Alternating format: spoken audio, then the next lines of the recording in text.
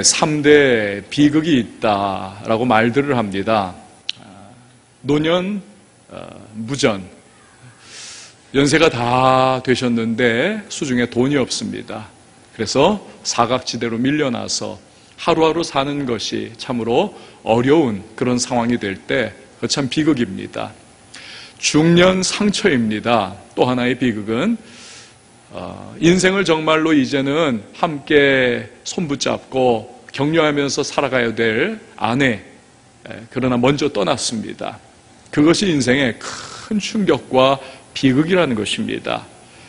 그런데 또 하나의 비극이 있다고 하죠. 그 세 번째는 무엇입니까? 조기 성공이라는 것입니다. 아, 빨리 성공하면 좋지. 뭐가 그게 비극이냐? 아니라는 것입니다. 빠르게 성공에 다른 박질을 쳐서 결국 산 꼭대기에 올라갔더니 누구보다도 먼저 굴러떨어지는 그러한 일이 얼마든지 생길 수가 있다는 것이지요. 웬만한 인생 비바람이 와도 흔들리지 않는 탄탄한 성품, 그리고 온건한 인격, 이게 뒷받침되지 않은 조기 성공, 빠른 성공, 오히려 사람을 파멸로 몰아붙일 수가 있다는 것입니다. 흔히 대기업 오너가의 자녀들이 문제시되는 경우가 바로 이 부분이 아닙니까? 태어나 보니까 금수저입니다. 잘하는 그 모든 과정 속에서 다들 떠받들어 줍니다. 그래서 금방 높은 위치에 오르긴 했습니다만 인격과 성품이 구비가 되지 않았습니다.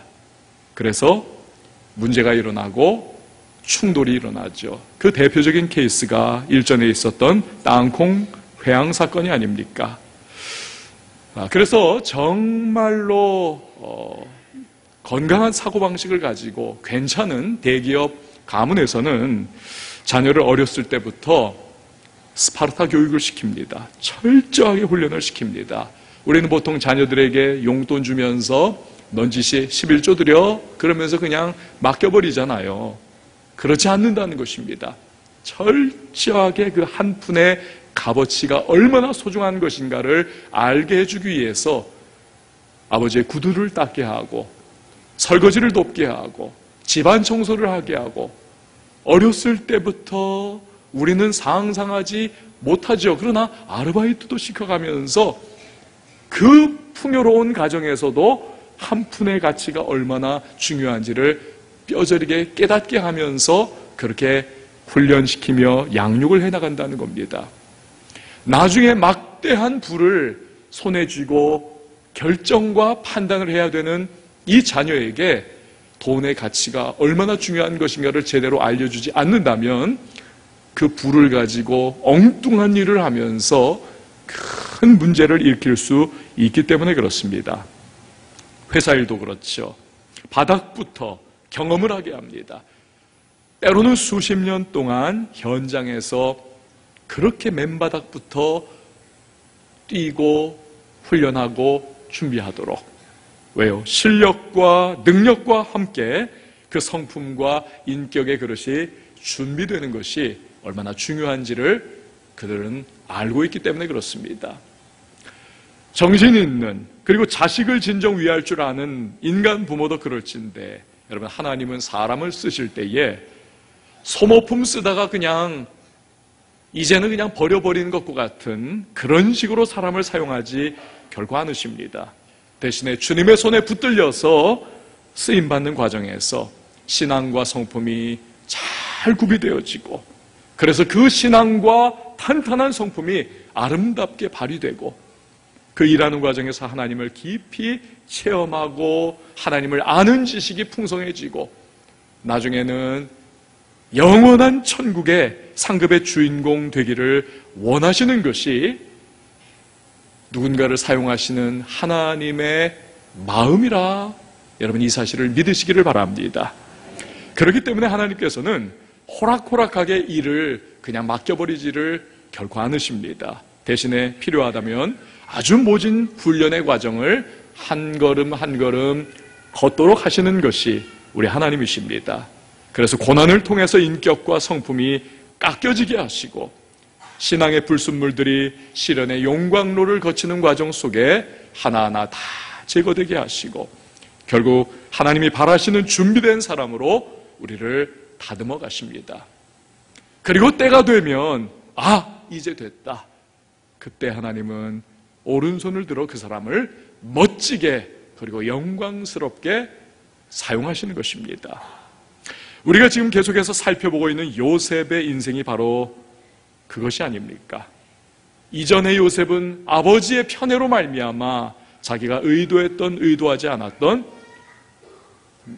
남들보다 높아지고 삐뚤삐뚤한 그러한 인격과 성품의 사람이었습니다. 하지만 그를 끝없이 무너뜨린 13년의 모진 종살이와 옥살이는 요셉을 그 누구보다도 온화한 성품과 부드러운 인격의 소유자로 탈바꿈시켜 놓았습니다. 전에는 하나님을 아버지로부터 들어서 아는 제3자와 같은 하나님으로 그는 그렇게 마음에 품고 있었습니다.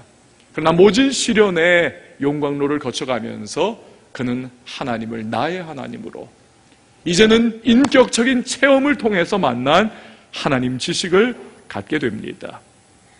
소년 시절의 요셉 청명하고 똑똑했습니다. 그러나 그 청명함과 그 똑똑함은 그저 한 가정을 이끌기에 적당한 그릇의 수준이었다면 이제 하나님의 훈련을 통해서 갈고 닦인 요셉의 지혜와 지식은 당대 최고의 문명을 자랑하던 애구방 바로와 고관 대작들이 인정할 만한 넓은 그릇으로 이제는 훈련과 준비가 되어졌습니다. 그래서 38절과 39절 말씀 한번 보도록 하겠습니다. 시작. 바로가 그의 신하들에게 이르되 이와 같이 하나님의 영에 감동된 사람을 우리가 어찌 찾을 수 있으리요 하고 요셉에게 이르되 하나님이 이 모든 것을 내게 보이셨으니 너와 같이 명철하고 지혜 있는 자가 없도다. 아멘. 이것이 바로 하나님의 방법인 것입니다. 저는 전도사 시절부터, 아니 그 이전부터 늘 기도하면 단 한 번도 빠뜨리지 않고 주님 앞에 간절히 구했던 기도의 제목이 있습니다. 하나님, 저에게 신령한 은사들을 허락하여 주시옵소서. 그 중에 정말로 제가 사모하고 그렇게 날마다 기도했던 것이 신유의 은사였습니다.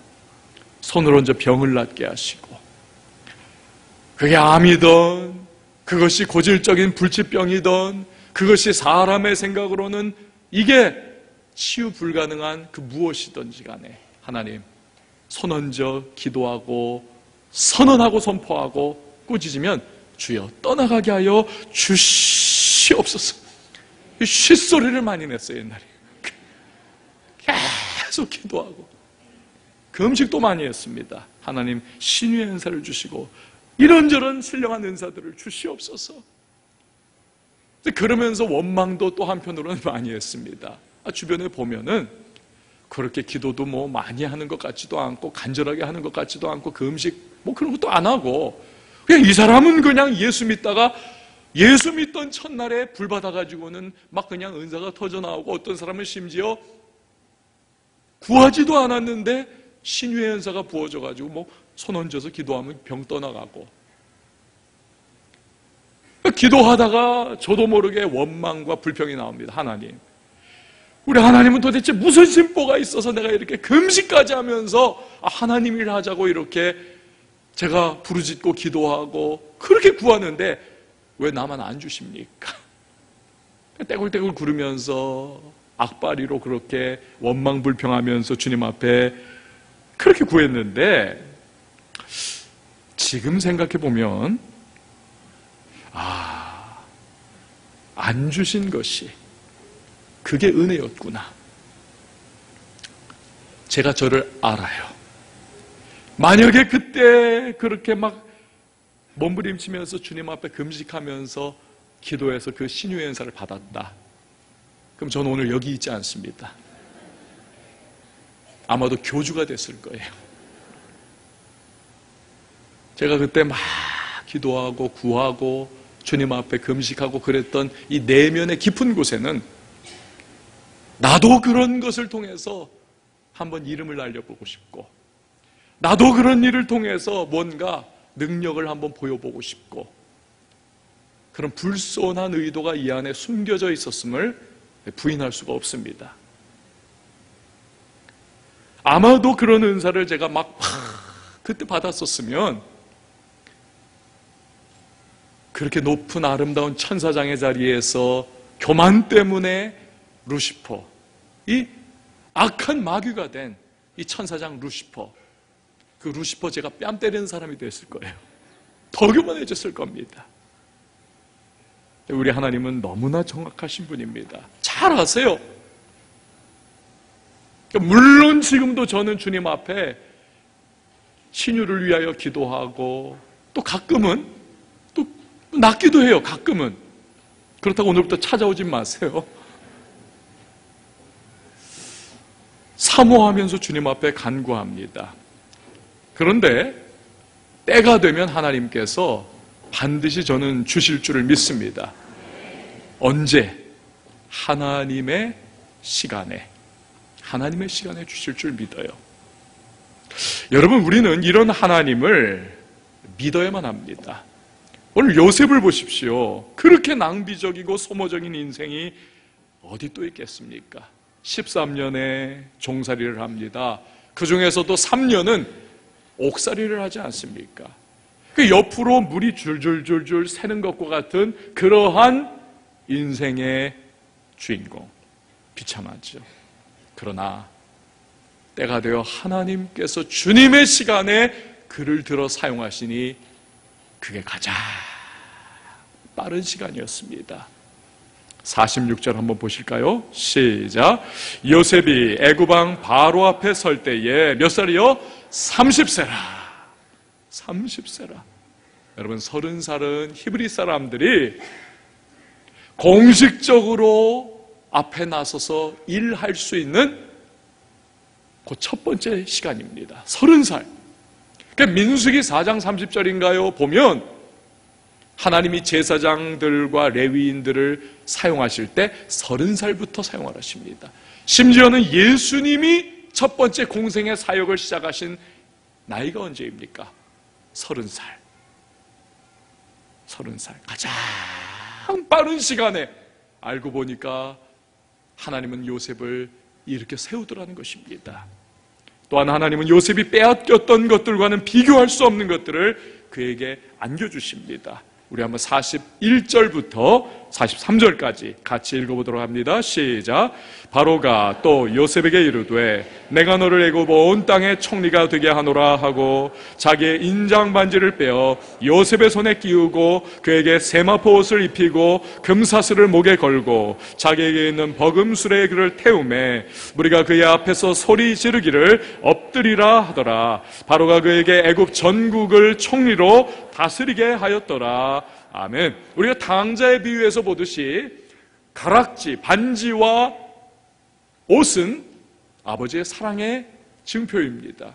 그런데 지금 애굽 온 민족의 영적인 그리고 정신적인 아버지라고 일컬을 수 있는 바로가 그 왕이 요셉에게 인장 반지를 끼우고 세마포 옷을 입힙니다. 권세와 영광을 그에게 하사하는 거지요. 시편 105편 18절 말씀해 보면 요셉은 애굽의 종으로 팔릴 때에 쇠사슬에 매였다. 수치와 박탈의 상징. 그런데 이제는 영광과 권세에 금사슬을 목에 메고 있습니다. 아마도 요셉은 맨발로 애굽에 끌려갔을 것입니다. 13년 동안 맨발로 또한 그는 종살이 옥살이를 했을 겁니다. 그러나 이제는 왕 다음 가는 버금술에 오늘날로 말하면 리무진을 타고 나가고 있어요. 그리고 모든 사람 앞에 엎드려야 했을 요셉이 이제는 모든 사람이 그 앞에 고개를 들지 못하고 조아려 엎드리는 영광을 얻습니다. 여러분 이처럼 요셉은 하루아침에 애굽 전국을 다스리는 총리의 무한한 영광과 권력과 힘을 소유하게 됩니다. 여러분 이것이 하나님의 시간이요 하나님의 방법인 줄 믿습니다. 우리는 뭔가 빨리 성공하고 빨리 잘 되기를 원해요. 옆에 사람들을 보니까 뭔가 막 그냥 나보다 고속 질주를 하는 것 같아요. 사업도 그렇고, 학업도 그렇고, 자녀 양육도 그렇고, 뭐 그냥 쭉쭉쭉쭉 나가는 것 같은데 나는 왜 이렇게 안 되나? 그러나, 잠언 20장 21절에서 하나님은 우리에게 이렇게 말씀하십니다. 처음에 속히 잡은 산업은 마침내 복이 되지 아니하느니라. 하나님 우리를 아세요. 우리가 얼마나 타락하기 쉽고 우리가 얼마나 변질되기 쉬운 존재인지 하나님 우리를 너무나 잘 아십니다. 여러분 우리는 요즘 그 사실을 보고 있지 않습니까? 판사 시절에, 검사 시절에는 그렇게도 공명정대했고, 그렇게도 정의를 위하여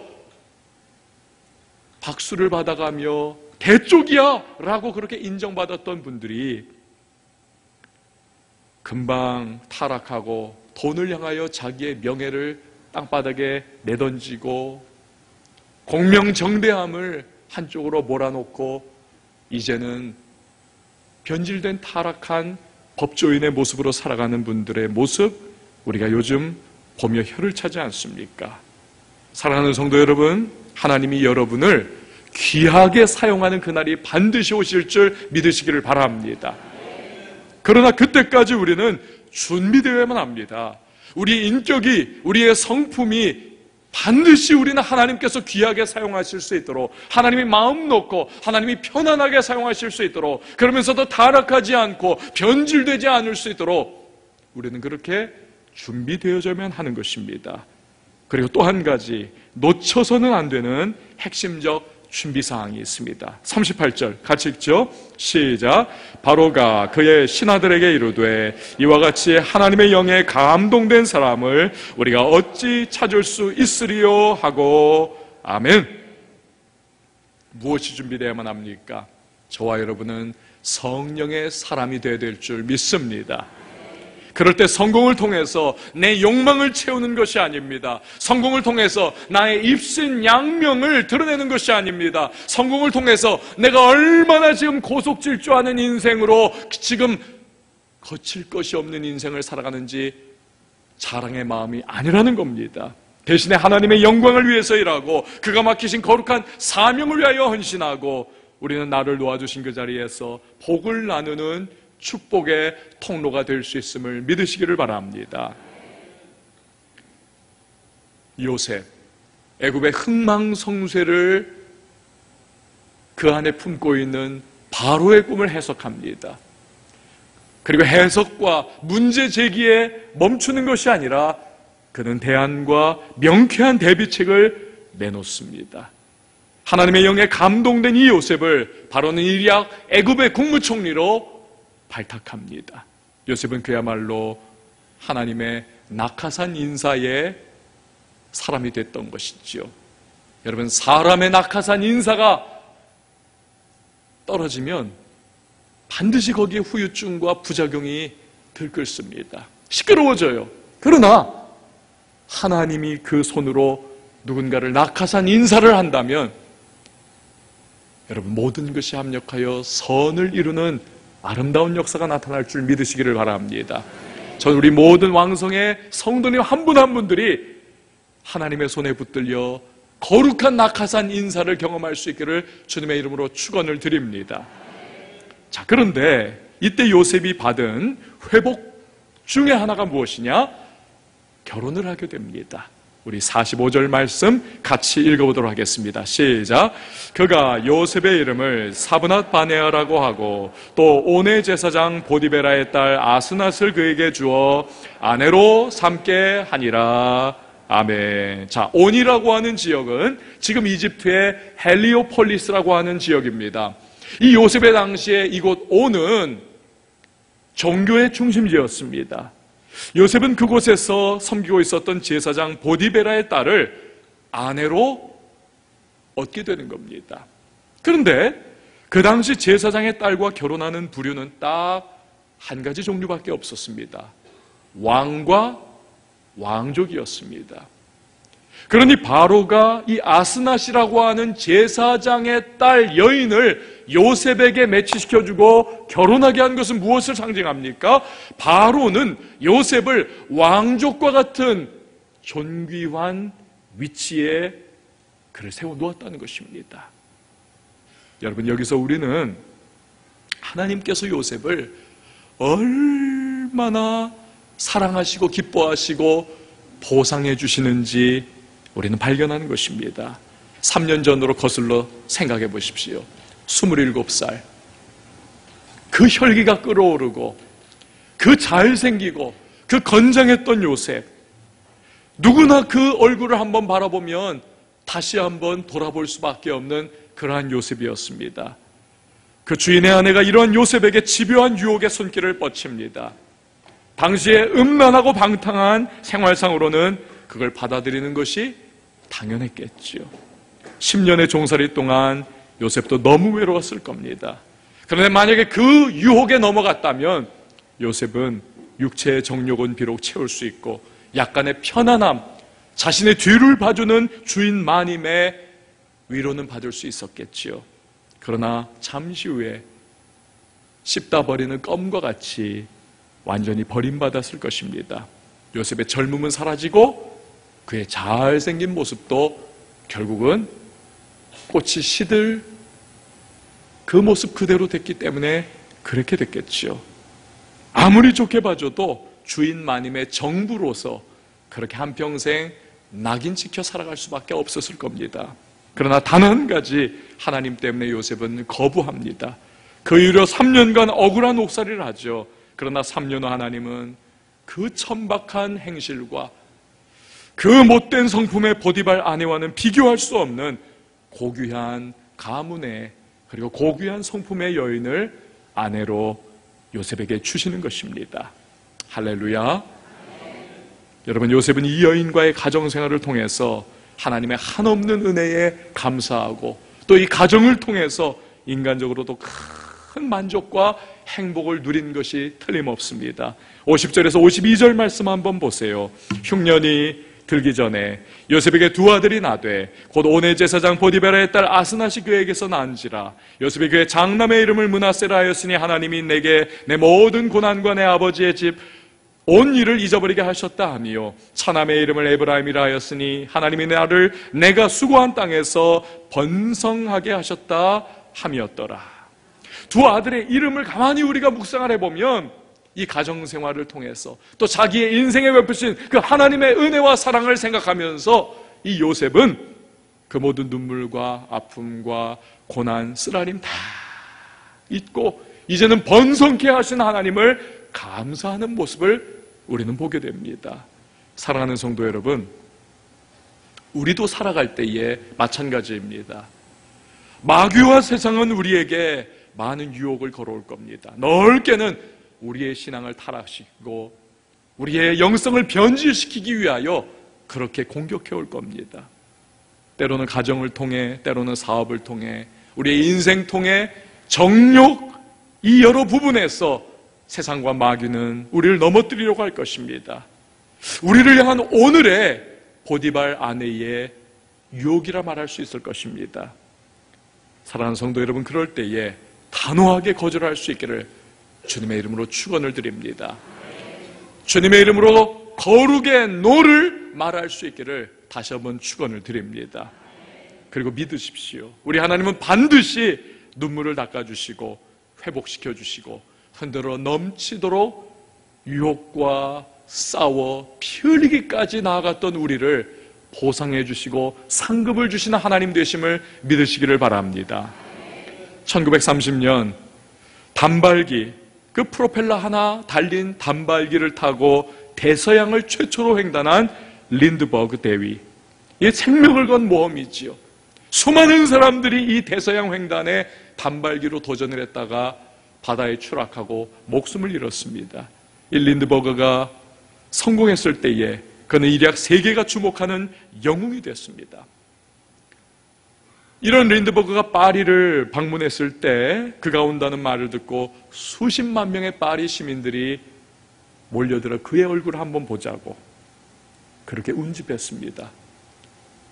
그때 그 소식을 들은 큰 담배 회사 사장이 이 기회를 이용해서 자기 회사의 담배를 PR하기를 원했습니다.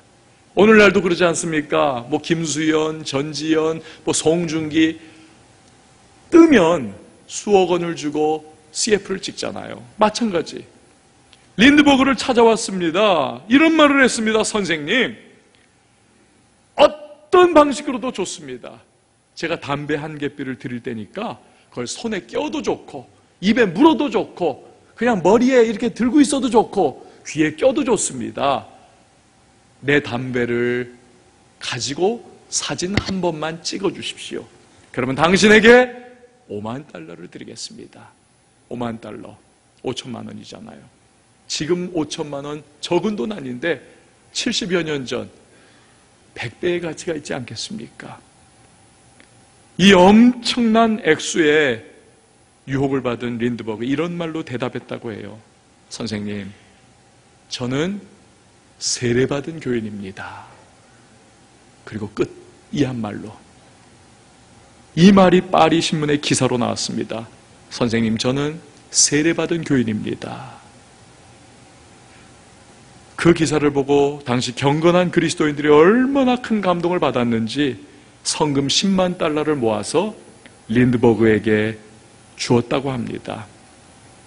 여러분, 린드버그에게 베푸신 하나님의 축복이요 은혜인 줄 믿습니다. 또한 우리는 이 땅에서만 잘 먹고 잘 사는 사람들 아니지 않습니까? 하나님은 우리에게 적어도 최후의 보상을 약속해 놓고 계시지 않습니까? 계시록 7장 15절에서 17절 우리 같이 한번 읽어보도록 합니다. 시작. 그러므로 그들이 하나님의 보좌 앞에 있고 또 그의 성전에서 밤낮 하나님을 섬김에 보좌에 앉으신 이가 그들 위에 장막을 치시리니 그들이 다시는 줄이지도 아니하며 목마르지도 아니하고 해나 아무 뜨거운 기운에 상하지도 아니하리니 이는 보좌 가운데서 계신 어린 양이 그들의 목자가 되사 생명수 샘으로 인도하시고 하나님께서 그들의 눈에서 모든 눈물을 씻어 주실 것임이라. 아멘. 그렇습니다. 우리가 이 큰 그림을 잊지 않을 수 있다면 우리는 유혹과 어떠한 시련으로부터도 넉넉하게 승리할 수 있음을 믿으시기를 바랍니다. 저를 한번 따라해 주세요. 하나님은 비교할 수 없는 보상을 주신다. 한 번 더요. 하나님은 비교할 수 없는 보상을 주신다. 믿으시기를 바랍니다. 하나님이 요셉을 하나님의 시간에 하나님의 방법으로 세워주십니다. 여러분, 우리는 하나님이 우리 역시도 그렇게 해주심을 믿는 사람들입니다. 자, 그렇다면 그때가 되면 우린 과연 어떤 모습으로 살아가야만 되겠습니까? 얼마 전에 신문에 하나님이 베푸신 은사와 은혜를 너무나 어처구니 없이 낭비하고 허비한 한 인물의 기사가 실린 적이 있습니다. 변호사이자 하버드 비즈니스 스쿨의 교수인 벤 에덜먼이라고 하는 그런 분이십니다. 그러니까 사진을 보면 저분은 30대 후반이나 40대 초반이에요. 그러니까 한마디로 쾌속 질주를 하는 인생. 엄청난 똑똑한 두뇌라고 하는 이 은사를 받은 기프티드죠, 기프티드. 이 은사를 받은 그러한 두뇌 소유자입니다. 근데 그가 자신의 이 법학 지식을 엄청나게 똑똑한 이 두뇌를 어디에 사용했느냐? 하버드에서 배가 고팠는지 그 학교 앞에 중국 음식점에서 인터넷으로 음식을 주문했습니다.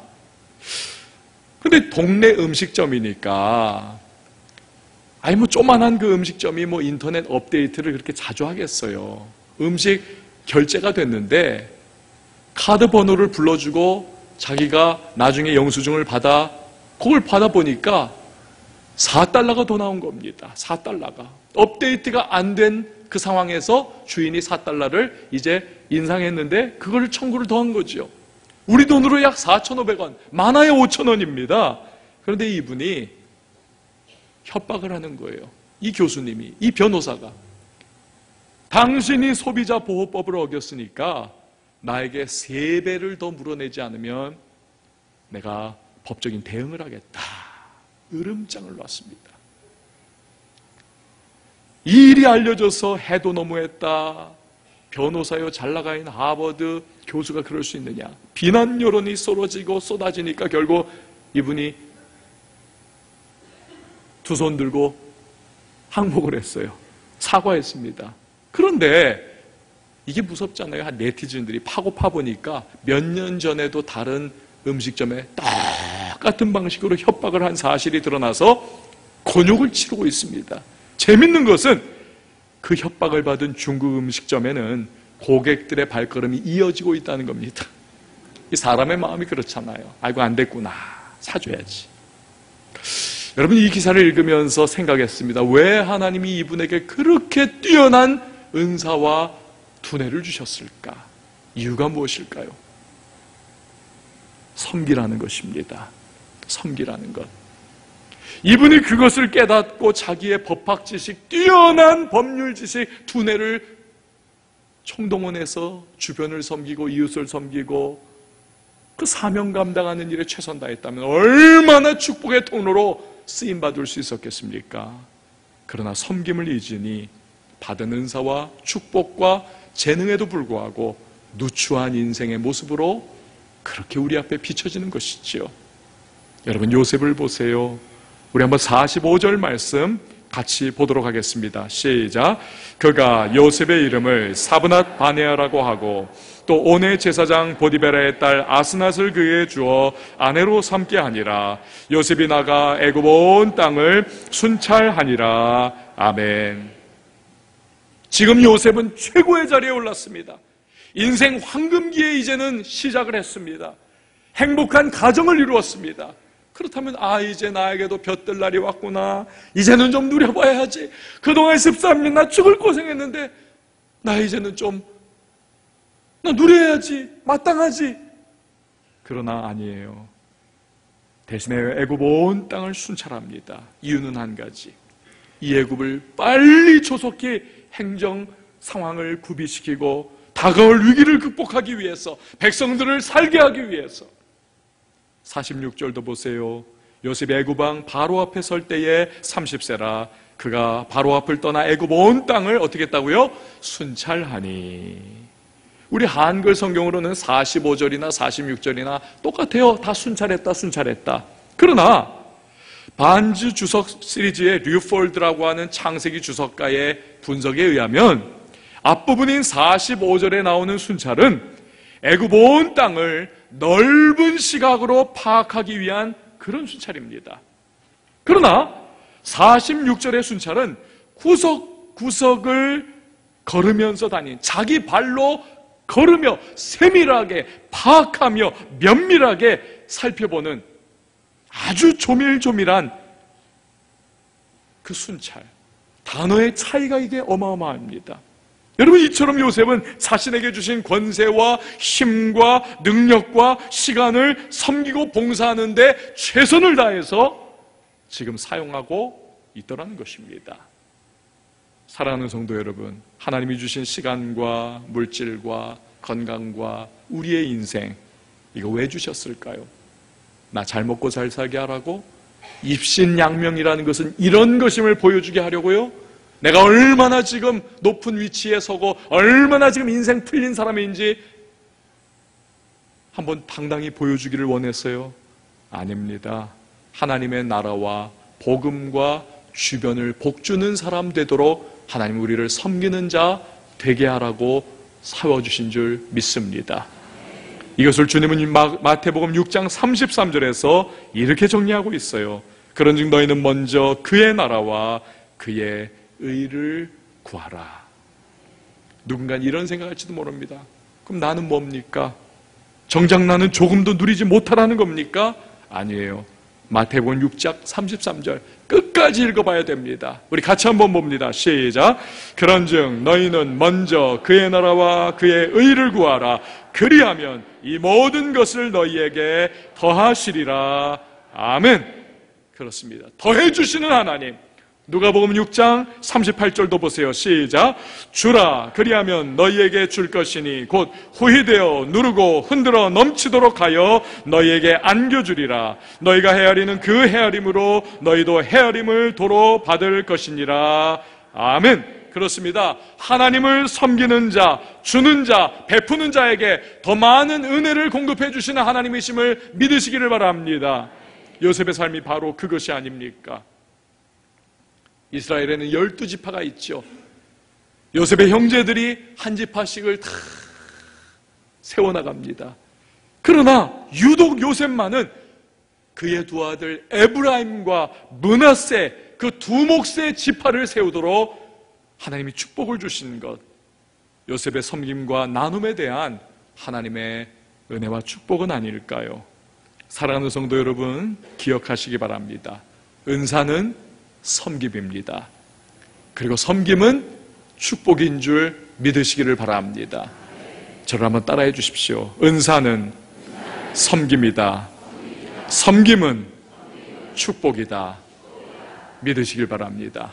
할렐루야.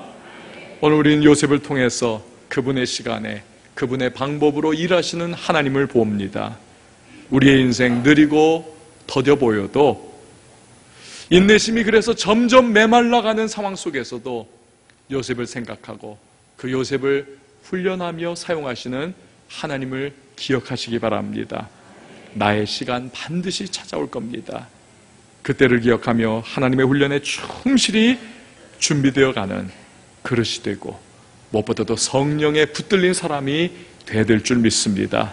다가오는 수많은 유혹의 순간 보디발의 아내의 유혹을 이긴 요셉에게 비교할 수 없는 귀중한 여인을 안겨준 것과 같이 우리 하나님은 우리에게도 보상해 주시는 하나님이심을 우리는 기억해야 합니다. 우리가 받은 것들을 요셉처럼 섬김을 위하여 사용할 때 우리 하나님 인정하시고 더욱 풍성한 은혜를 베풀어 주십니다. 바라는 것은 저와 여러분의 인생 발걸음이 요셉처럼 주님이 기뻐하시는 복된 인생 될 수 있기를 예수님의 이름으로 축원을 드립니다. 함께 찬양하도록 하겠습니다. 우리는 잘 몰라요. 하나님 왜 이러실까? 왜 이렇게 내 인생은 더딜까? 나는 이제 더 이상 꽃 피울 수 없는 그런 인생으로 마감하는 것일까? 우리는 몰라요. 우리는 의심합니다. 그러나 하나님은 아십니다. 그분은 계획을 가지고 계십니다. 그분의 스케줄이 있습니다. 그분의 방법이 있습니다.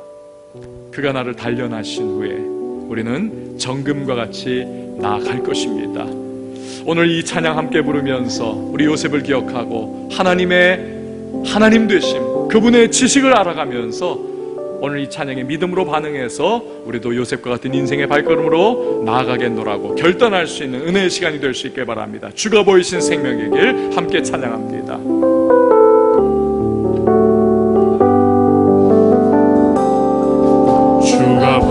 보이신 생명의 길 나 주님과 함께 마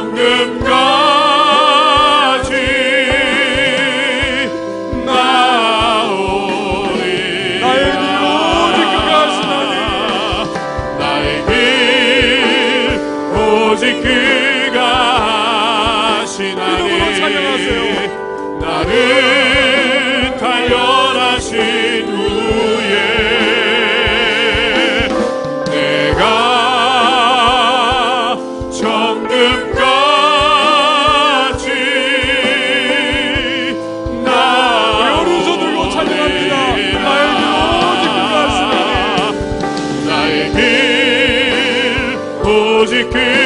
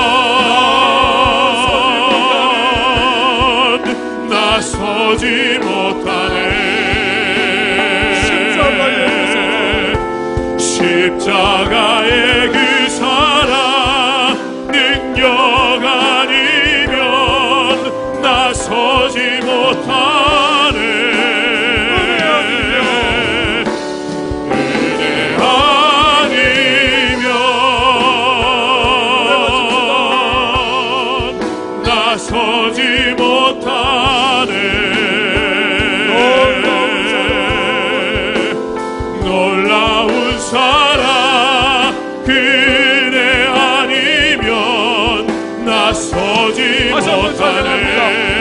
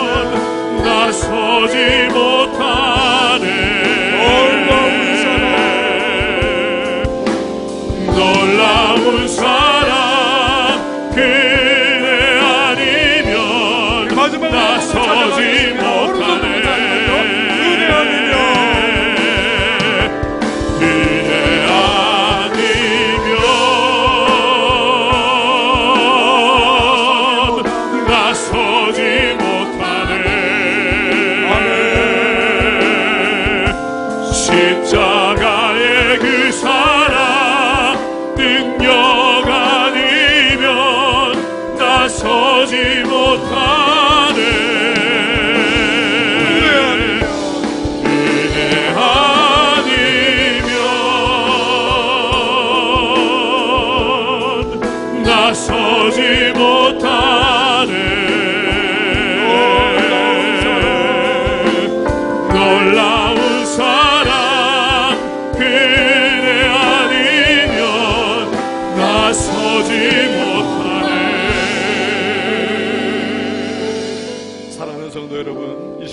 함께 기도하며 나갈 때에 주여 오늘도 하나님의 방법과 하나님의 시간을 믿는 자 되게 하여 주시옵소서. 아멘. 나를 세워가시고 나의 인격과 성품을 다듬어 가시고 느려 보여도 더뎌 보여도 내 인내심이 점점 메말라간다 할지라도 하나님의 분명한 계획은 있다는 사실 오늘 믿으며 나갈 수 있도록 주여 도와 주시옵소서. 성령의 사람으로 붙들리게 하여 주시옵소서. 다가오는 수많은 유혹 가운데 하나님 믿음으로 승리하게 하여 주셔서 하나님의 분명한 보상을 경험하는 간증의 주인공 되게 하여 주시옵소서. 하나님이여 받은 것들 나의 은사 나의 시간 나의 인생을 통하여 섭립의 사람 되게 하시고 하나님이 기뻐하며 오른손으로 붙잡아 사용하시는 오늘의 요 셉이 될 수 있도록 주여 도와달라고 이 시간에 주님의 이름 한번 부르며 우리 통성으로 기도하도록 하겠습니다. 주여